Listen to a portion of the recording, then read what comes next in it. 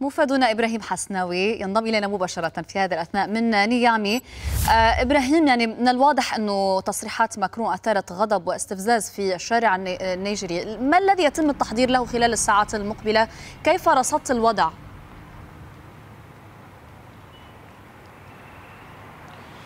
بالفعل تصريحات ماكرون وتمسك فرنسا برفض سحب سفيرها من النيجر أثارت غضبا واسعا لدى الأوساط الشعبية هنا في النيجر ولدى الناشطين الداعمين للمجلس العسكري الحاكم. هناك دعوات كبيرة جدا على مواقع التواصل الاجتماعي وعلى وسائل الإعلام تدعو إلى تصعيد الحركة الاحتجاجية الشعبية. هناك دعوات خلال 48 ساعة أو أقل من ذلك إلى التوجه إلى السفارة الفرنسية ومحاصرتها بشكل مفتوح حتى ينسحب السفير والدبلوماسيون الفرنسيون الموجودون هنا في العاصمة نيامي لأن لأنهم يقولون بأن رفض فرنسا سحب سفيرها امتثالا لأوامر المجلس العسكري الحاكم هو اعتداء على سيادة البلاد التي لها الحق في إبداء رغبتها في في أن هذا السفير أو ذاك غير مرغوب فيه في البلاد وبالتالي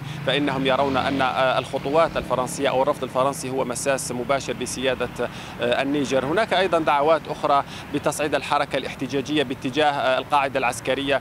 الفرنسية ربما نشهد نهاية هذا الأسبوع مسيرة مليونية كما يقول الناشطون هنا باتجاه القاعدة العسكرية الفرنسية. ومحاصرتها أيضا يقولون بأنهم سينظمون تجمعا أو اعتصاما مفتوحا لإجبار الجنود الفرنسيين على المغادرة ويدعون أيضا المجلس العسكري الحاكم إلى قطع إمدادات الوقود والكهرباء والماء ومواد والمواد الغذائية عن نعم الجنود الفرنسيين من أجل دفعهم إلى المغادرة. إذا هي حركة تصعيدية احتجاجية باتت من أهم الأوراق التي يلعبها المجلس العسكري الحاكم خاصة وسط التحدث بعض المصادر بأن المجلس العسكري قد لا يكون من صالحه تصعيد الحركة تصعيد العسكري مع فرنسا خاصة وسط المخاوف المتزايدة بشأن ربما تكون هناك بعض الأعمال العسكرية من الجانب الفرنسي في حال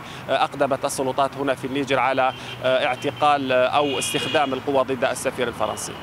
إبراهيم حسناوي مفادنا إلى نيامي. شكرا جزيلا لك.